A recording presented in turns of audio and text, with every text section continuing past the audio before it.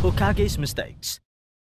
The seven previous Hokages are all powerful at first glance, and we can only assume that they are shinobi with a wealth of knowledge and experience necessary to rule their villages. However, although they try to find their own way out of the troublesome events surrounding the Hidden Leaf, they don't always succeed, and most often drag the problem to the next generation and so on. This time, we're going to mercilessly expose the mistakes of the past Hokages.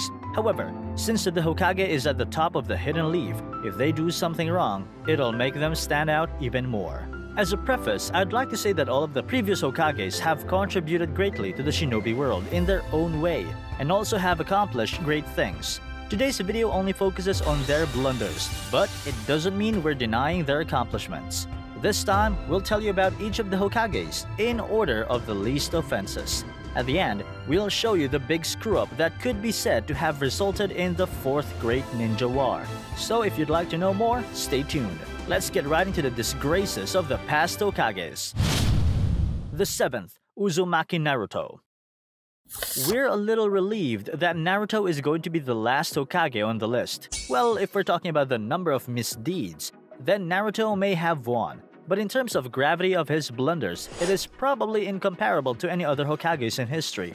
He is very active as a main character should be, and naturally has been doing mischief from the very first episode. First, he steals the forbidden jutsu. He would have died in the first episode had he not possessed his bloodline and the tailed beast. From there on, it was all insignificant. Rather than a screw up, it was merely him embarrassing himself. But since he became a Hokage, he's been making a bit of screw ups. First of all, he couldn't forsake his personal feelings and still protect Sasuke, a rogue shinobi, even after he became the 7th Hokage. Orochimaru and Kabuto are both also left to themselves. All three of them were former terrorists of the highest level. It may be a good idea for the top management not to dwell on the past, but if we're looking from the safety of the village, then we guess we'll have to wait and see if this is a blunder or not by watching Boruto from now on. The third, Sarutobi Hiruzen. He was the only one to return and be reappointed as a Hokage because of the early death of the fourth.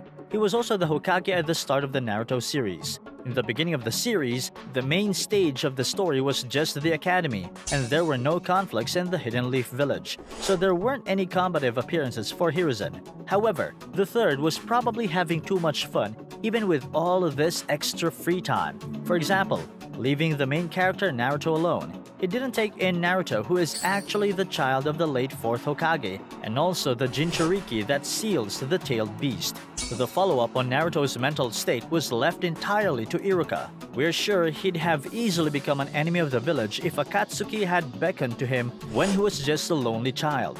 Moreover, Hiruzen tacitly acknowledged Orochimaru's falling to the dark side, and for the reason that Orochimaru was his disciple, he overlooked Orochimaru's human experimentation even after they were discovered. In the Konoha Crush, Hiruzen regrets what he did and finally made up his mind about Orochimaru and fights for his life. However, Orochimaru survives and goes on to unleash his evil on the world. While it is regrettable that he only appeared when he was in his late years, his achievements when he was younger are not very clear, and thus his screw-ups inevitably stand out. The sixth, Hatake Kakashi. He is the sixth Hokage who took office after the Fourth Great Ninja War. During Naruto's time, he was a Jonin who tends to be the leader in battles. On a smaller scale, he did screw up at the beginning of the series, when Team 7 faced Zabuza, of course, as Kakashi didn't know what was going on behind the scene in this mission, he couldn't prevent the fight itself. However, in the battle against Zabuza, he was surprisingly easily caught by the enemy's water prison jutsu, which left the newly graduate Team 7 to fight against Zabuza themselves. Had Sasuke and Naruto failed to free Kakashi, they would all undoubtedly be killed by Zabuza. Kakashi also has a screw-up that, while different from the intense scenes such as the battles, made an impact on us, we're talking about the way he treated Sasuke after Sasuke reunited and got beaten by Itachi, and then fought with Naruto. Does everyone remember the first time Orochimaru and Chidori almost collided and Kakashi stopped it? After that, he lectured Sasuke, but we feel that he should have been more strict about it. Shortly after the lecture, Sasuke decided to rely on Orochimaru after a sound shinobi contacted him. That's right, if Kakashi had been more strict and had stayed by his side a little longer, Sasuke might not have become a rogue shinobi. The severity of the screw-ups are slowly scaling up, but there are still 4 Hokages left, so prepare yourselves. The fifth, Senju Tsunade. One of the legendary Sannin and disciple of Hiruzen, her biggest mistake is, as expected, related to the mission to bring back Sasuke. Sasuke made his way to the Sound Ninja 4 and Orochimaru. Tsunade should have dealt with this problem as soon as she assumed position as the Hokage. But on top of that, the village's strength had also been severely reduced due to Orochimaru's attack. With no option left, she gives the mission to retrieve Sasuke to a team consisting of the newly appointed Chunin, Shikamaru, and only Genins. Each and every member of Shikamaru's team played a major role in this mission, but Sasuke's retrieval ended in failure. No matter how chaotic the village was, if Tsunade herself had gone with them, the outcome might have been different. While we're at it, let us tell you about another mistake she could have made. When Jiraiya and Naruto were looking for Tsunade, she was almost taken in by Orochimaru's words. The deal that Orochimaru brought up was that, in exchange for Tsunade's healing his arm, he would bring back both her brother and boyfriend, who died in the war.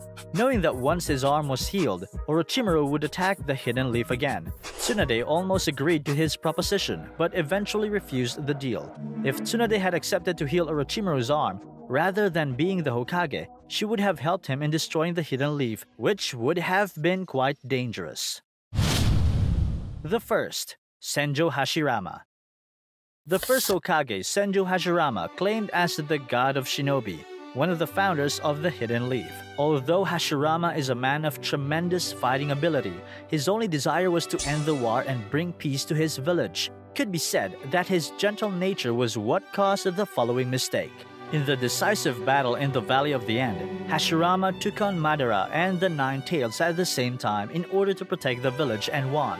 However, the fault lies in Hashirama for failing to confirm Madara's death or seal his body. There was also the problem with Hashirama's cells or body cells that was given a name as it was a mass of chakra brimming with life energy. His cells were harvested by Madara before his death and by Orochimaru and Yakushi Kabuto after his death.